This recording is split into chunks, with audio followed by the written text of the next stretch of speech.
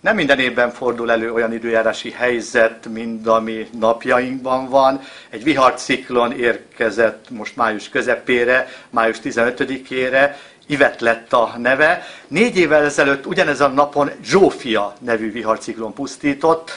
hatalmas mennyiségű esővel érkezett a viharciklon, már a viradóra már helyenként 20-30 mm csapadék hullott, de nem is annyira a csapadék, mint inkább az orkán erejű szél jellemezte ezt a viharciklon, különösen a Balatonnál pusztított a szél, ott helyenként 115-120 kilométeres erősségű szél tolt át a vizet az északi partról a déli partra és okozott árvizet, és a következő napokban, pénteken is viharos lesz a szél a Balaton térségében, további esőre lehet nyugaton számítani, ugyanakkor a keleti országvízben megkezdődik a lassú javulás,